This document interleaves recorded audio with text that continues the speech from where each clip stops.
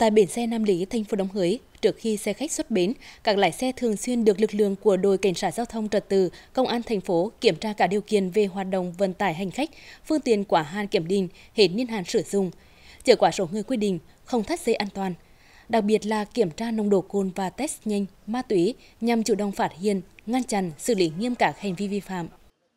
Khách đi trên tuyến đường thì mình cũng cố gắng phục vụ và an toàn cho nó đảm bảo nên giao thông đi thì không rượu bia rồi là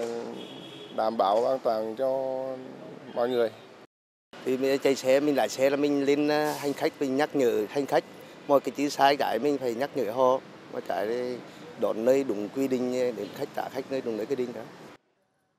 Cùng với đó, lực lượng của đội cảnh sát giao thông trật tự công an thành phố cũng đẩy mạnh tuyên truyền, phổ biến pháp luật, phối hợp với các bến xe tổ chức cho cả công ty, doanh nghiệp, cá nhân kinh doanh vận tải ký cam kết về việc chấp hành nghiêm cả quy định về đảm bảo trật tự an toàn giao thông.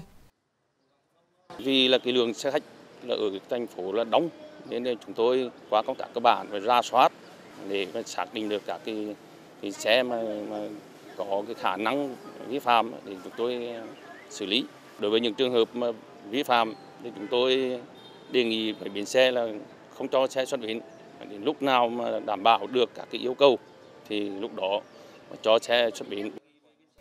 từ nay đến ngày 14 tháng 12 năm 2023, đội cảnh sát giao thông trật tự công an thành phố Đồng Hới sẽ tiếp tục thực hiện đồng bộ quyết liệt chuyên đề này, tập trung xử lý nghiêm các trường hợp vi phạm nhằm răn đe, tạo sự chuyển biến tích cực về nhận thức trách nhiệm của chủ phương tiện và lái xe. Qua đó góp phần kiềm chế, giảm thiểu tai nạn giao thông, nhất là các vụ tai nạn có nguyên nhân trực tiếp từ các phương tiện xe khách.